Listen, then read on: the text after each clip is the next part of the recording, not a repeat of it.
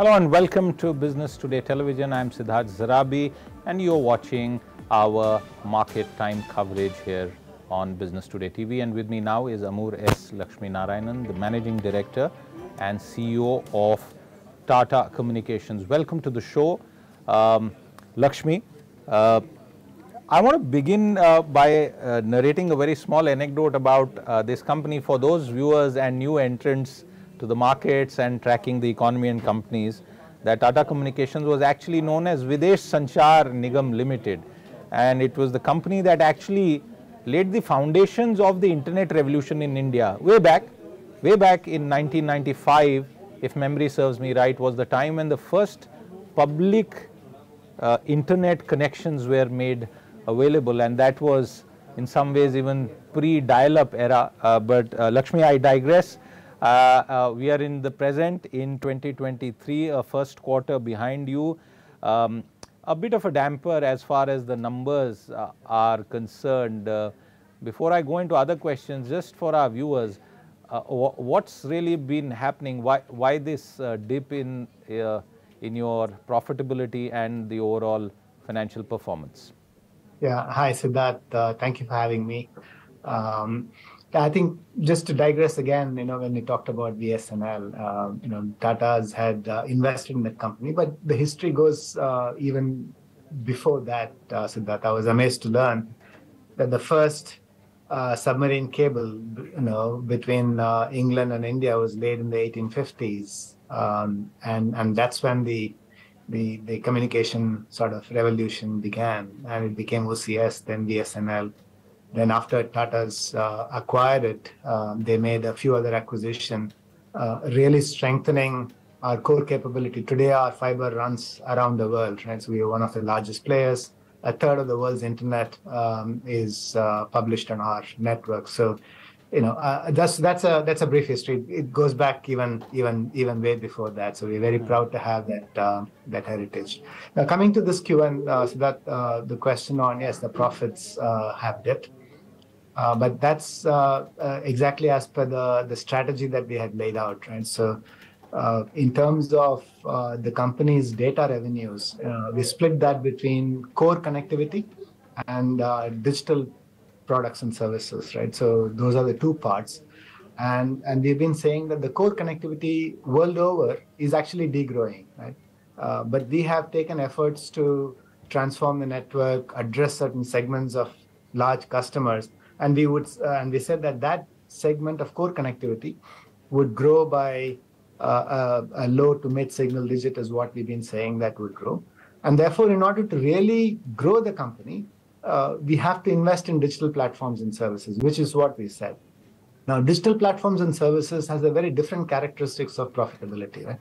while core connectivity came with a higher profitability it required a high level of capex investments to be made on all the fiber everywhere and and uh, and high capex business, whereas digital products and uh, services come with uh, lesser capex, but the the at the gross margin levels. Uh, it's not at the same levels of profitability of this. And even within the digital portfolio, we have multiple uh, families of products, if you will, and each of these families um, have a very different margin profiles.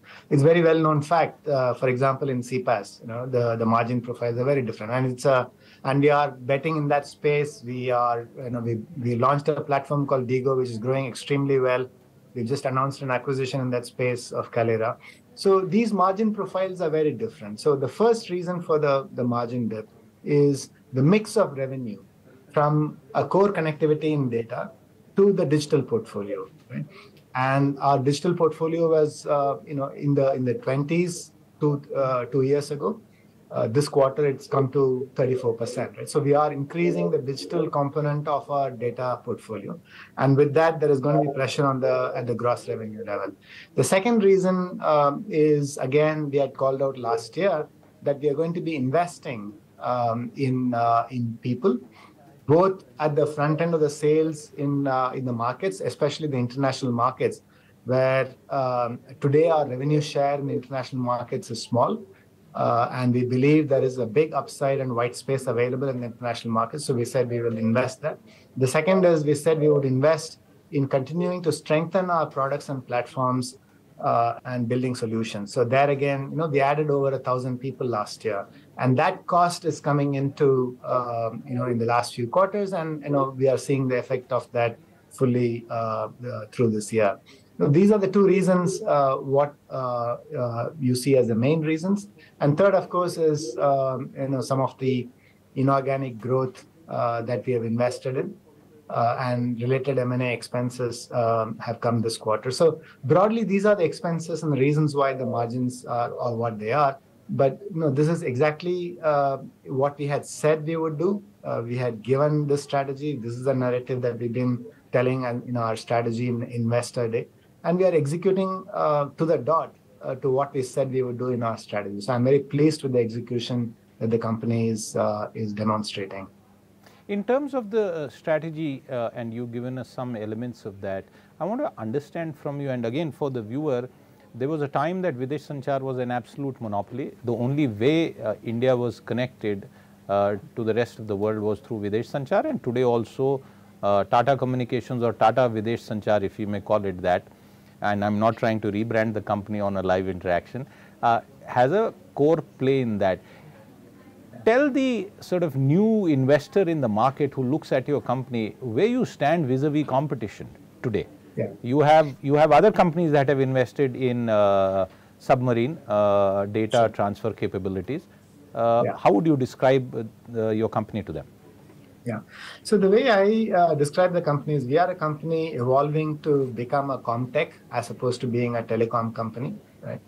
Uh, and there are good and early signs of that if you look at the financial metric. Um, uh, four years ago, our uh, was at uh, 8 9%, and our EBITDA margins were at 16%. Uh, Today, we are saying that we will be about 25% in our. Uh, we are saying that you know we aspire to be in the 23 to 25% range in the EBITDA. So already we are exhibiting characteristics that are very different from a, a regular telecom player right? So uh, that is one. So we are on our path to become a. What we are building on is our core strength, which is the power of our network. You know, uh, uh, which is what I explained to you. You know, a, a third of the world's internet uh, is on our network. We have a very large messaging infrastructure around the world. We have a, a large voice infrastructure around the world, and these are the core uh, foundation, if you will, of uh, of what we have. And on top of that, we are building these platforms that will address the digital needs of our customers. So, for example, the B2, the B2C customers of ours, when they want to interact with their consumers, today they have many challenges because those uh, how they interact with the consumers are very fragmented. So people do SMS, people do WhatsApp, people do voice, and there are many, many interaction channels that are there. With our DIGO platform, with our customer interaction platform, we are converging all these conversations and interactions with their consumers and also bringing intelligence to make it more contextual. So that is the platform that we are working on. That's the platform that we've launched. So we are building um, capabilities on top of this. Now what is this platform leveraging? That platform is leveraging our voice capabilities. The platform is leveraging our um, our messaging capabilities around the world. So that's what it's leveraging on. But we have built these capabilities on top. The second thing is uh, we are differentiated from other players in the in the field uh, by the fact that we are a B2B specialist, right? We are not a a B2C player also doing a B2B. Um, and and and that requires a different characteristics, a different mindset. So in our strategy, we had called out that we want to be focused on large enterprises. Uh, we created a team that focuses on learning about the customers and servicing them well, and it reflects well. Uh, if you look at our NPS scores, it's amongst the highest, not just in our industry, but across mm. many other industries globally. Our NPS scores are uh, are some of the uh, is the highest, right? So these are some of the ways by which we uh, we differentiate, and and we are uh, betting on these platform play on top of this core foundation that we have built, which is very strong. Uh, data is the new oil, and as far as data is concerned, you also um, outlined uh, um, significant target uh, over the next three to four years, where what will be the main drivers for you to achieve the target that you outlined? Right. I think the uh, there are you know three main drivers. So if you look at our portfolio of what we are doing, right, um, we are essentially saying that we want to become a digital fabric for the enterprises, right? Uh, and the digital fabric, uh, you know, we say that we address three parts of it. One part is about the digital and agile infrastructure, which is how do I help customers to utilize the internet more effectively? Uh, you know, and and people are using the business users are using internet. Uh, people are moving to cloud. So the the drivers of that agile infrastructure, which comprises of our next generation connectivity solutions, it mm. comprises of our cloud solutions, and we are launching our edge solution there as well, and everything software defined. So that's what is the, the is that portfolio of digital infrastructure, and the the drivers for growth in that portfolio is going to be enterprises moving to cloud, enterprises moving to internet, uh, and as they do that, the the architecture becomes quite complex. It becomes shall we say, less secure as well. You know, while convenience increases, security becomes uh, an issue. And in our portfolio, we focus on you know end-to-end security of how we offer that. So the drivers are internet, the drivers are cloud, and people go from cloud to cloud as well. So we are launching a product that will connect multiple clouds together and deliver that capability to our customers. So that's the those are the drivers for the digital infrastructure growth. If you look at the connected experiences, where we have our Move platform, uh, which is essentially delivering the capability of connected cars. Uh, it helps uh, in, in smart lighting, where several cities in India runs our solution for smart lighting to uh, to deliver the um, you know, both the citizen experience as well as uh, all the environmental benefits that it offers. So all our connected solutions addresses these kind of uh, areas, and the drivers for that growth is the proliferation of devices, um, the Internet of Things that are need to be connected uh, and that interacts with the people and the businesses. So we look at man, machine, material, uh, and all of them coming together, creating new business opportunities uh, for customers. Right? So as connected cars go into market, how do you connect all of them? How do you drive services revenue on top of it? So these are the new drivers, and connected solutions. Uh, the drivers of growth would be uh, these elements of proliferation of devices, the need for connectedness of devices to people and the and applications. The third portfolio is all connected uh, experiences, and I talked to you briefly about it. So one is about employee experience that we deliver through you know such collaboration using the uh, tools like you know zoom and team and cisco tools and others how do we enable that and deliver that service the second part of it is all the connected experiences for consumers, uh, the interaction that we talked about. So there, largely, we help customers moving to uh, their call centers to cloud, putting the technology on the cloud, um, converging all the customer interactions through a single platform and make it easy to consume. So, uh, you know, if you have seen some of the recent results of the uh, uh, the U.S. banks, one of them stands out. They have said that the number of branches have come down by four percent, whereas the digital interactions have gone up quite significantly, right? And the hmm. revenues have been very resilient for this bank. So these digital interactions are going to grow, and that's one uh, will be the growth driver for our customer experiences platform. And the third is all about the uh, uh, the, the, area of you know how we deliver uh, the uh, all of them together in a stitched up manner as solution. Right. right? So these are uh, these are essentially the the key drivers uh, that we are mapping to our customers, and our portfolio is very neatly aligning to these drivers. Right. Uh, since you uh, spoke about these priorities, uh, you this company has acquired several other companies. Uh, is the phase of significant investments, uh, especially those driven by M&A, over, or is something still on the horizon? Um, so if I understood your question, um, you, you're uh, you're referring to the uh, recent acquisitions that we have just announced, and uh, I think our strategy, Siddharth, is uh, obviously the organic engine is is growing, and this is what we showed in this quarter. Organically, we have grown 14% year on year, and the inorganic has added another uh, few percentage points to our growth uh, in this quarter. Hmm. And the way we are going about the inorganic uh, acquisition is uh, driven by more strategy than necessarily just uh, bulking up our, uh, our, our growth, right? So we are looking at, uh, you know, for example, uh, the acquisition of the Switch, which is one of the major players in in the Americas, to deliver um, all the sporting events that are happening in the in the stadiums to the millions of viewers sitting at home, Uh, and that very neatly fits in with our media portfolio.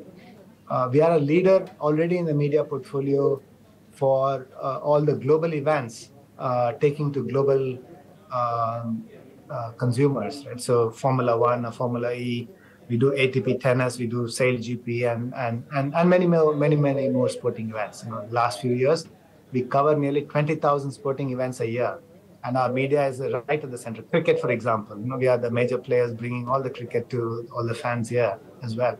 So we uh, our media plays a very significant part and we are focused on these global events taking to global consumers now what this acquisition then uh, the switch does is very neatly brings a very solid presence in the Americas with all the local sporting events of the football and everything else taken to the local um, uh, viewers in, in the US, but it's a significant market. Uh, so it expands our market reach, uh, if you will. That's one strategic rationale.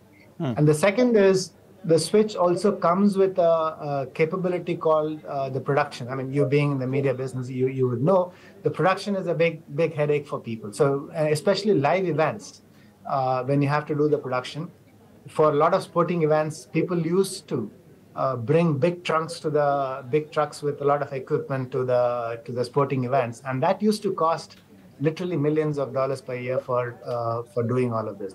Today, what what is happening is all of these are done remotely. So it's a remote production capability. And we are really powering that technology to enable remote production through very low latency network, using our edge solutions to make it all happen. Now, the switch, we didn't have a production capability, right? So the switch comes with the production capability. So, and, and that production capability uh, neatly dovetails to our offerings and it enhances our offerings as well. So, uh, the, the the acquisitions rationale are, uh, are of such kind that there is a strategic fit, which helps us to strengthen our product portfolio. It strengthens our market reach. And that's the reason behind acquiring this. And similarly, what we've announced in Kaleyra and now uh, Oasis as well, which we had invested before. They are in the eSIM business. And we just announced that we are you know, getting 100% of that company now. So, is your appetite for mm, uh, fresh mergers and acquisitions still there, or you kind of stocked up for the time being? No, I, I think the, you know, thankfully our balance sheet is uh, is quite strong, right? And we continue to generate good EBITDA and good cash. Um, so it is part of our strategy that we will be on the lookout. We have created a strong team and capability to do that. But as I said, uh, you know, it's not as though we are going to be um, uh, just depending on that if there is the right opportunity that fits in strategically with what we do, then of course we will look at it. Take us through your fundraising uh, uh, plans that you have outlined. Fundraising plans. So um, you are talking about uh, no, I think a lot of these uh, acquisitions that we have done is is all cash acquisitions. Most of mm. it hmm. accrued internally. Hmm. Uh, and of course, Kaleyra is a bigger investment that we make, and that will be a hmm. combination of uh, um, uh, cash and debt that we would uh, we would look at. Um, so yeah, I mean, we have clearly mapped out all sorts of funds, um, and um, uh, and we've also stated as part of our strategy, Siddharth, that our uh, you know net debt to EBITDA ratio will remain below two. we are hmm. at 1.3 now. Uh, it was way high. If you remember, three four years ago, we brought it down to where it is. But even at uh, uh, at the ratio of two, we are quite comfortable. So we have sufficient headroom in our balance sheet to be able to to fund um, this and many more investments that we need to make and whenever we uh, need to make. Uh, uh, let me come back to uh, what's happening globally as far as the economy is concerned, and I want to add that questions from to try and get some color from you as to what markets are active globally and uh, where do you see some of the additional growth uh, coming from in the future? So globally, uh, you know, I'll, I'll come to the macro and, and you would have heard several commentaries on the macros. So mm -hmm. I will leave that aside. But uh, to just put, give a perspective, so today our split of India revenues and international revenues are roughly 50-50, right? So, which, and and with that kind of data revenues that we have, it's still very small relative to the the market size that is available internationally. Right? So, if you look at the purely the network connectivity piece, which is one part of our portfolio, the international is uh, you know at least uh, 50, 60 times more than what India market is. Even if I look at select markets, not just the global markets, right? Leaving alone, you know, some other markets like Latin America and others. So it's a big uh, uh, headroom available for growth because we are a challenger in those international markets while we are a leader in India. Uh, the white space available for that is uh, is very high. So regardless of how the macro movements are, which is temporarily, you know, there might be a slowdown uh, in people making decisions, which is what we noticed last quarter, in terms of our funnel being very high, but the the, the decision making was uh, was slowing down.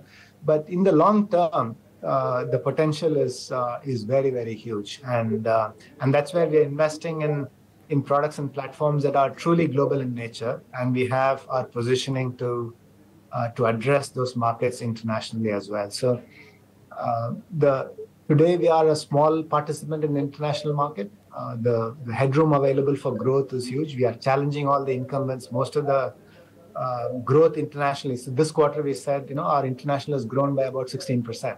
And the growth is coming more from replacing uh, current incumbents, if you will, and challenging the current incumbents.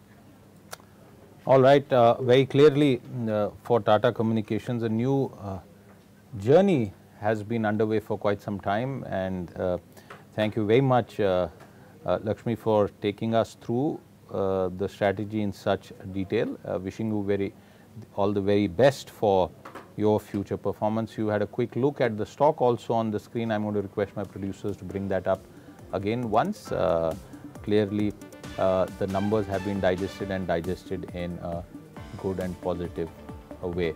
Uh, once again, thank you very much for your time uh, with us today. With that, it's a wrap on this conversation. We'll be back with more. Do stay tuned in. Bye-bye.